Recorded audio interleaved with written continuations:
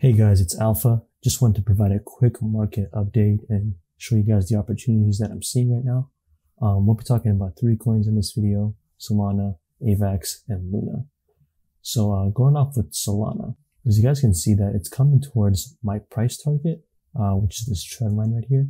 And I really see a buying opportunity in this box right here. If you guys want the exact numbers, it'll be 102 to 100. And I really think it's possible that Solana could hit this uh, trend line just because I already bought at uh, at this hit right here.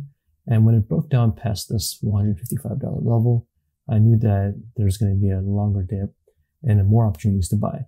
So there's a possibility also that it could go below 102 or 100 and go all the way back down to $80. And if that does happen, I'll use it as another buying opportunity. So I'm still bullish long term on Solana. I think, you know, a dip in the market is always a chance to get in and a chance to, to come back for this bull run because we are in a bull run. So next coin will be AVAX.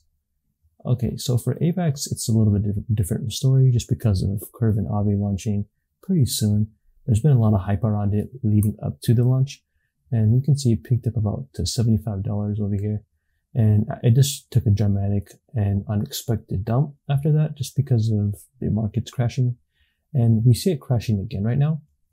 And as you can see, it kind of retested the same uh, price points about four times here, which is about $56 area. And that's really um, a sign that, you know, AVAX doesn't really want to go that much down compared to other coins.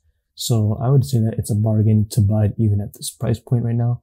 Um, if you're able to get in pretty soon, that'd be great. But if we do see a longer dump, then we can expect it to be over back down to $38.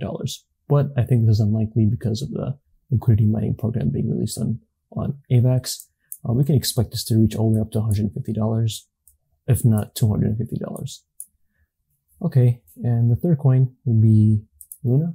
And I'm overall bullish on Luna. Um, it's a great crypto, great coin, great team. Um, that's always going to be demand for Luna because of the uh, UST demand and the lending and borrowing uh, protocol that that uh, is built on Luna.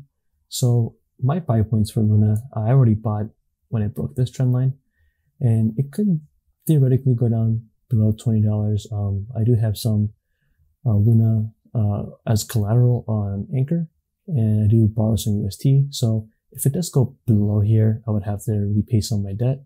But um, I don't think it would go below $20, but if it does, I just see it as another buying opportunity. Um, I've already bought uh, some of these cryptos today and yesterday, and I'll probably buy some more tomorrow. But um, I'm just letting you guys know um, if there's another opportunity that will come um, in the next few days to buy because these levels we'll probably never see them again. I do like to see you know these opportunities get taken up at these price points just so we can have conviction in what we actually believe in because these are the top three cryptos that I believe in and I know that will do well the long term.